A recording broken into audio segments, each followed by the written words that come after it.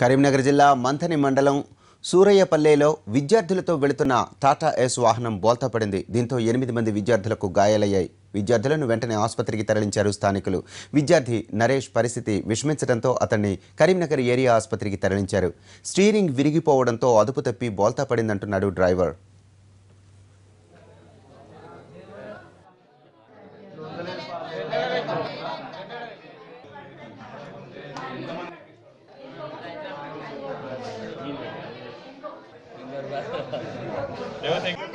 madam మళ్ళీ నెలనే ఇస్తుంది injection